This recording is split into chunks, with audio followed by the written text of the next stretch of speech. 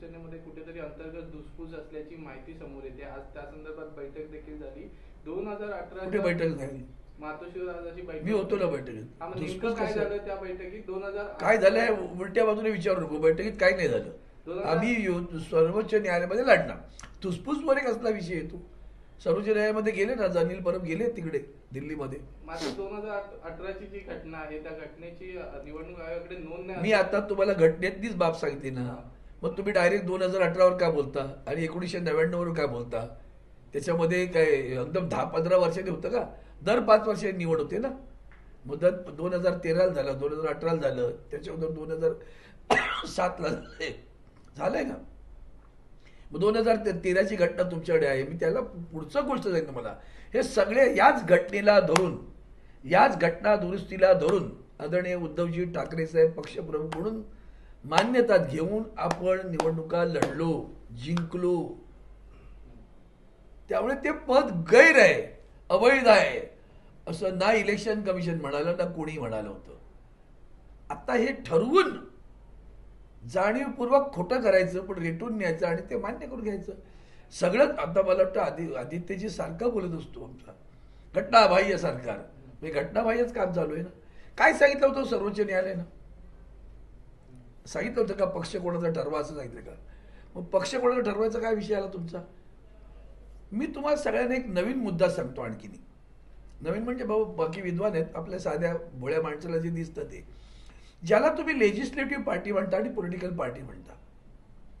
ती legislative party त्याच्यामध्ये निवडून आलेले पक्षाचे पॉलिटिकल पार्टीचे आमदार. ते लेजिस्लेटिव्ह पार्टीचे झाले. इथं काहीतरी मतभेद झाले. समजा त्याच्यात विभागणी झाली. ते छत्तीस चाळीस आणि इकडे सोळा सतरा हे मान्य करतो ना आपण. म्हणून पक्षावर कसं काय धरू शकता तुम्ही? पक्ष कसा त्यांचा होईल? लेजिस्लेटिव्ह पार्टीला कालमर्यादा आहे ना हो. ती पार्टी ते जे काही सदस्य आहे ती संख्या पाच वर्षासाठी आहे ना. का अखंड आहे? तह यात आहे ती नाही ना? पुढच्या वेळेला आणखी दहा पंधरा आणखीन वाढले असतील किंवा कमी झालेले असतील काही असेल. एखाद्या पक्षाचा एकच आमदार असेल तरी पॉलिटिकल पार्टी आहेत ना? ती संपते का? एखाद्या पक्षाचा आमदारच नसेल तरी पॉलिटिकल पार्टी आहे ना? Communist party of India communist party of आहे ना? C P I C P M आजही आहेत ना? किती आमदार येतो हो त्यांचे आपल्याकडे? पक्ष आहे ना? पक्ष कसा घेऊ शकता तुम्ही? साधा कायदेशीर सुद्धा आणि लॉजिकल विचार. पक्ष कसा देऊ शकता तुम्ही? तुम्ही सांगा. की विधानसभा विधानसभेमध्ये असलेल्या आमदारामध्ये दोन गट पडले. ह्यांच्याकडे मेजॉरिटी आहे त्यामुळे ह्याचं गटनेतेमध्ये याला जाईल इथपर्यंत सांगू शकता. पण मूळ मुद्दा कुठला आहे? जेव्हा ही घटना घडली ज्या दिवशी हे पळाले हे साऱ्या जगाला माहिती आहे ना कुठल्याही पक्षाचं घर माहेरघर सोडून तुम्ही पक्षाच्या प्रमुखाला न विचारता सुरत आसाम आणि गुवाहाटी आणि गोवा असे फिरताय तुम्हाला विचारलं जाते तेव्हा तुम्ही व्हॉलंटरली स्वखुशीने पक्षापासून दूर गेला ते स्पष्ट होतंय की नाही? बरं त्यांनी काही थांबले नाही ना उद्धवजी साहेब? त्यांनी दुसऱ्याशी राजीनामा देऊन वर्षा बघायला सोडला. मग याचा अर्थ काय होतो? याचा अर्थ तुम्ही पक्षापासून दूर गेला ते स्पष्ट झालं ना? तरी तुम्ही सांगता त्यांना पक्ष त्यांचा आहे? कुठल्या आधारावर?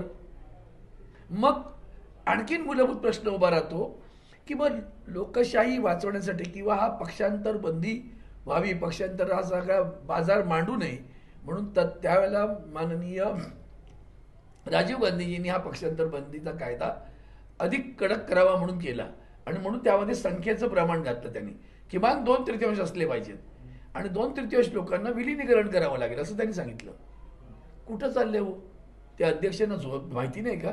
की हे कलम आहे हे लोक गेले आहेत हे गेलेले लोक एवढे एवढे आहेत ते सोळात होते ते दोन तृतीयांश पण नव्हते.